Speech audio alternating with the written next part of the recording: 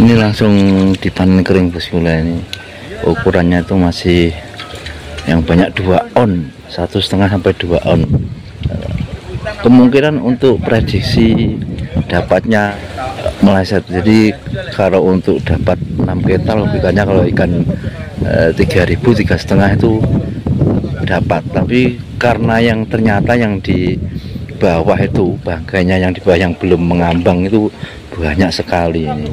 Nah, ini modelnya itu kan kalau sakit e, menggelepar langsung mati. Itu kalau dipanen hidup sudah tidak bisa. Itu di dalam tong sudah e, mulai banyak yang mati.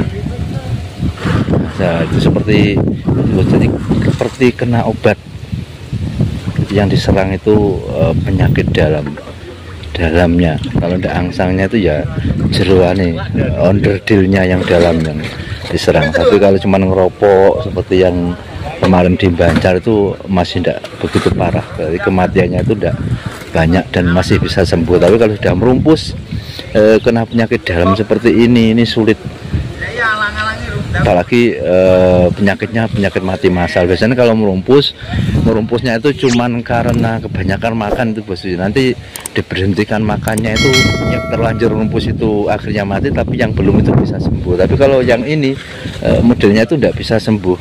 Tiap hari itu e, bertambah terus e, matinya. Makanya e, seperti kematiannya seperti mati massal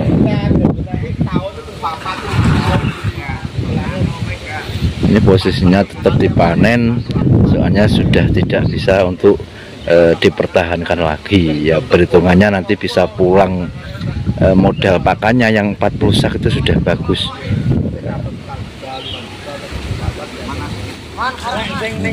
Kalau ikannya tuh nggak ada yang luka bosku jadi untuk e, postur tubuhnya itu tetap seperti ikan normal nggak ada yang luka sama sekali motomin dulu ataupun badannya itu luka saja tapi nggak ada. Siripnya juga normal semua cuman eh, yang kena itu adalah eh, dalam seruan nih onderdilnya makanya sangat berbahaya kalau penyakit itu penyakit dalam.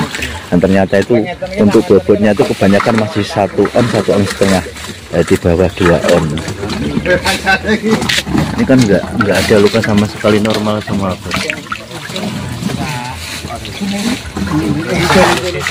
kemungkinan e, nanti dapatnya tidak terlalu banyak soalnya itu yang e, di bawah sana itu yang mati di dasaran lumayan.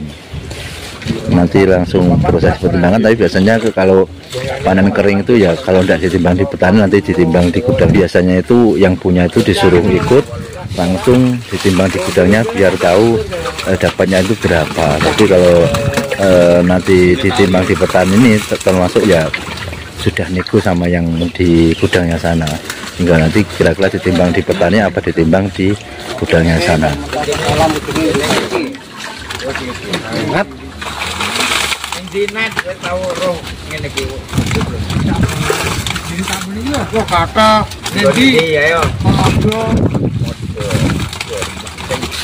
Jabu ini kena net. Bu. Gone anu bakul ndi? Bakul ketan kepo. Tak ya. Ini yang ternyata yang mati di bawah itu banyak sekali. Ini sebagian tadi coba diangkat seperti ini bosku jadi sudah tidak masuk e, untuk bakulnya itu. E, sedangkan e, yang di bawah sini itu masih full. Ini kalau tidak di airnya nggak dihabiskan tidak bisa ngambil ini soalnya masih di dasaran kolam. Ini tadi cuma ngambil beberapa sampel di dalam air nanti hasilnya itu meleset dari perhitungan saya saya tahap itu masih dapat sekitar 4-5 kintalan kemungkinan ya paling dua kental dua kental lebih sedikit nanti sudah eh, habis. Soalnya yang jelas kematiannya itu berarti kan 6000 itu ada 50% lebih jadi matinya ada sekitar 60 sampai 70% nanti kita lihat sampai selesai. Soalnya saya juga penasaran bosku kira-kira masih dapat berapa? Soalnya untuk bibitnya saja kemarin hitung-hitungannya itu ada 7 juta lebih. Berarti untuk balikin bibitnya saja itu nanti sulit. Apalagi untuk memba, mengembalikan uang pakannya jadi targetnya bukan uang pakan yang kembali tapi uang bibit itu sudah bagus kalau eh, bisa kembali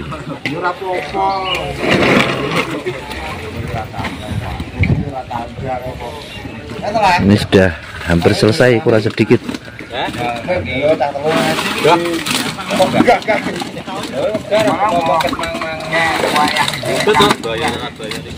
ini sudah selesai mau langsung dikirim bos jadi uh, cuman dapat sekitar dua kental lebih sedikit dua setengah tidak ada. Jadi prediksi saya tuh uh, paling tidak dapatnya itu empat kental ternyata dapatnya malah cuma dua kental lebih sedikit. Nah, jadi perhitungannya itu uh, untuk bibitnya saja ini tidak kembali.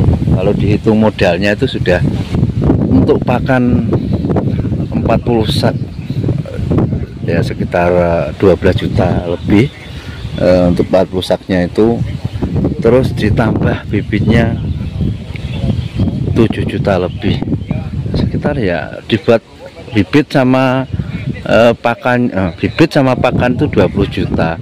Kemudian tadi cuma dapat dua setengah dua setengah kintal lah paling nilainya itu tinggal melihat harganya.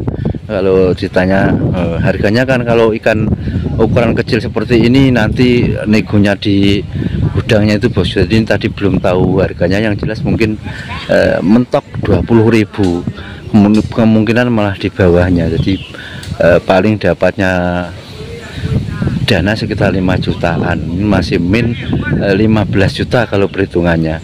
Tapi ini ternyata itu di masjid ini masih Eh, dulu ini kan uh, sudah dipecah jadi dipecah asalnya itu sekitar 8000 sudah diambil 2000-an jadi masih punya sisa ikan yang normal di kolam lainnya itu sekitar 1000 sampai 1500-an bosku. Jadi masih itulah keuntungannya. Nanti kalau itu yang 1000 1500-an itu nanti bisa panen e, normal sampai akhir itu masih dapat 4 kental sampai 5 kental ya itu kemungkinan nanti bisa buat ganti bibitnya. Kalau yang jelas e, yang untuk satu kolam ini itu minnya itu ada sekitar 15 jutaan.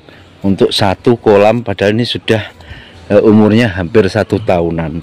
Makanya saya bilang dari kemarin uh, waktu mau dipanen kalau diambil untungnya jelas tidak tidak bisa. Jangankan untuk keuntungannya untuk modal pakannya saja prediksi saya itu uh, pakan masih bisa kembali. Tapi ternyata jangankan untuk pakan untuk bibitnya saja sudah tidak bisa kembali. Soalnya kematiannya itu sangat-sangat banyak bos gula ini. Paling itu itu tadi kepanennya itu sekitar 2000-an sampai 2500 mentok yang bisa dipanen. Jadi yang banyak itu eh, ini di dalam kolam ini. Yang masih sisa bangkai-bangkai ikan. Makanya ini mau di airnya dibuang mau di uras habis. Nah ini bos. Nah, biar tahu nanti kematiannya itu seperti apa yang jelas ini masih banyak sekali di bawah dan itu bakul sudah tidak mau bosku ternyata. Eh, prediksi saya tadi mau dipilihin yang bagus-bagus terus eh, nanti bisa masuk yang timbang kering. Tapi ternyata katanya gudangnya itu kalau ikannya sudah mati kondisinya memang sudah mati walaupun sudah tenggelam itu tidak mau. Akhirnya diambil yang itu tadi masih hidup tadi tapi langsung dipanen kering. Ya untungnya itu langsung ditangani bosku maksudnya itu bisa langsung dipanen.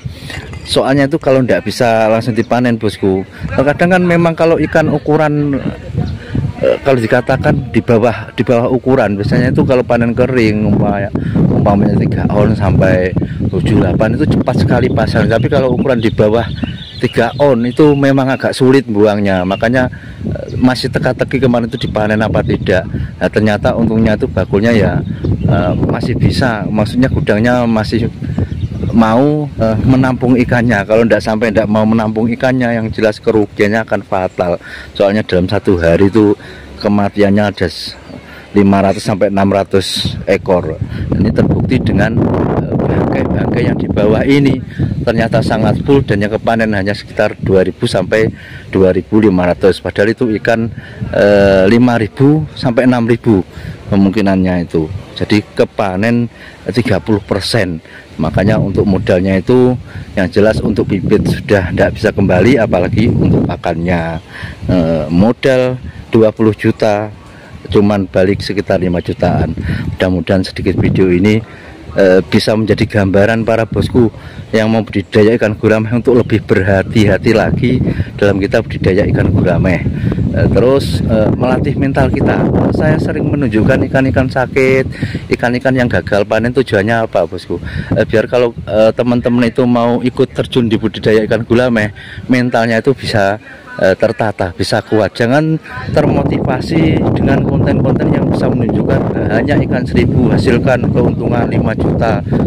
Nah, itu nanti kalau orang termotivasi pasti akan menyesal. Maksudnya ternyata jauh apa daripada budaya ikan gurame itu kalau sukses dan yang bagus e, keuntungan sudah 100% umpama bosku e, membuang modal 50 juta bisa kembali 100 eh, sampai 100 lebih itu kalau pas harga bagus ikannya bagus randemennya itu jadi. Tapi kalau standarnya itu eh, di harga normal harga biasa per seribunya itu masih dapat sekitar 5 sampai eh, 7 juta. Mudah-mudahan eh, ini ada manfaat dan gunanya. Mohon maaf atas segala kekurangan kekhilafan. Akhirnya tetap semangat. Saya akhiri. Assalamualaikum warahmatullahi